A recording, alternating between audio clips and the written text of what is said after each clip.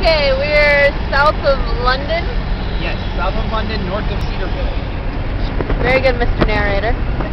We went through a town called Wilberforce, which apparently is home of the famous Wilberforce University.